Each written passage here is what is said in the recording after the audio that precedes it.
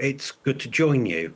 Um, as far as I know, the image has been withdrawn because uh, some of the photo agencies have concerns that the image has been manipulated in some way, and there are one or two odd features with the photograph, and that the news agencies sort of, you know, they themselves want to be trusted, and they have very strict quality controls over what images they distribute. Um, because, you know, outlets like yourselves sort of want to be able to trust um, what they give to you as, as much as the general public. Mm. Well, what questions are being raised about why the royals would even feel the need to edit the photo if that is what has happened? Well, that's what's so odd about this, in that, you know, we do get photographs directly from the royal family and they get distributed, um, usually without any problems. And indeed, the Princess of Wales herself has taken photographs of her children that have then been distributed. Um, this photograph was taken by Prince William. Um, maybe his photographic skills aren't quite as good as his wife's, and maybe they went too far in in sort of editing the photo or something. We really don't know what's happened, and that and that and that's sort of it's just an unusual situation, really. And of course, the question that everyone is asking, it's trending on social media where is Kate? The palace did confirm the princess had undergone planned abdominal surgery and will temporarily withdraw from public duties until after Easter. It's not Easter yet. Has this not been sufficient explanation as to Kate's whereabouts? Well, this is, I think, in some ways the underlying context in that, yes, we know that she's had a serious operation and that she will be out of action and out of public view until after Easter. But there have been one or two odd things have, have happened of, of late. Um, Prince William didn't attend his godfather's memorial service at very short notice due to personal reasons. Um, but then we were later briefed that this was nothing to do with Kate's illness or recovery or nothing to do with um, sort of uh, Thomas Kingston, who was the Prince Michael of Kent's son, who died sort of um, rather sadly, uh, suddenly. Um, and, but we were told it was nothing to do with that. And so that again raised more questions than it answered, sort of just what was going on behind the scenes. And so to have this other oddity as well is sort of raising questions as to just what what's going on at Kensington Palace. Well, there are questions about the length of time that a, this abdominal surgery uh, would usually take uh, for recovery. What are experts saying about this period? Does it all make sense? Um, it's difficult to say because we don't know any more than abdominal surgery, which could cover a whole a whole range of different situations. Um, so it, I suppose it does make sense if you if you take a look at some conditions.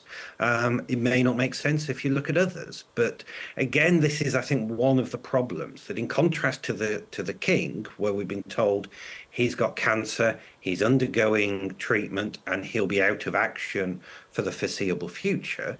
Um, we just don't have we have some information, but not enough, and and releasing some information but not quite enough has raised further questions. And in this vacuum, you get social media and conspiracy theories.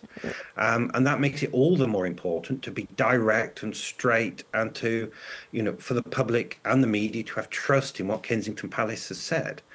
But they've been acting oddly over the past few weeks. What else could explain her absence, Kate's absence from the public eye since Christmas Day? Then I know you say there's been a lot of speculation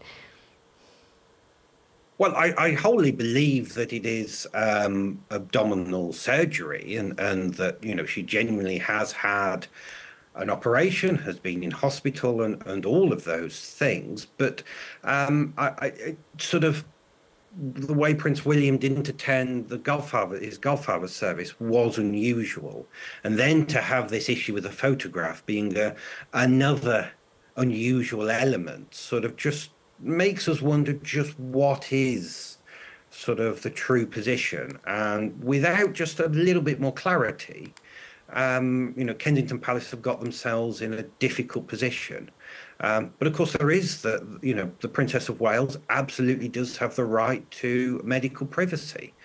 Um, so they're struggling to find the right balance and, and releasing this photograph after saying that she was going to be out of the public eye until Easter uh, might have been the best, the worst of all worlds in many ways.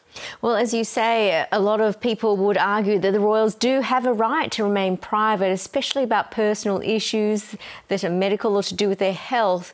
But to what extent? That seems to be up for debate. Just how much should they reveal? Well, yes, it, it's sort of, and I think it, it's where it conflicts or sort of affects their public duties.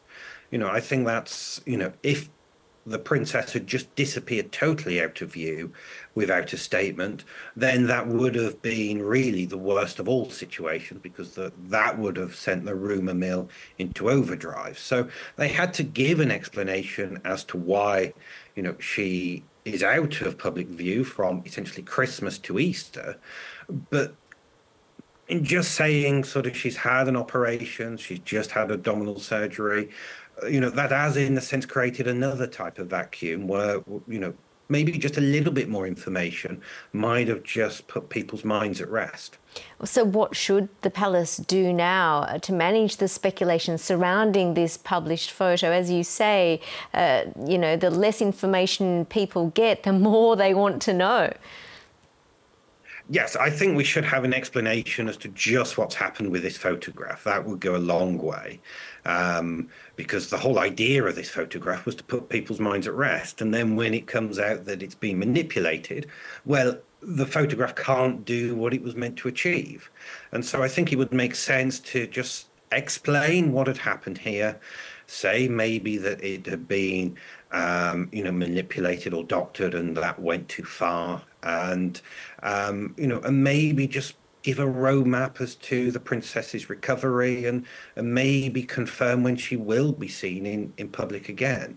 Last week we had uh, the British Army publish details that she would attend Trooping the Colour early in June, but that was not, not announced by Kensington Palace and the Army withdrew that.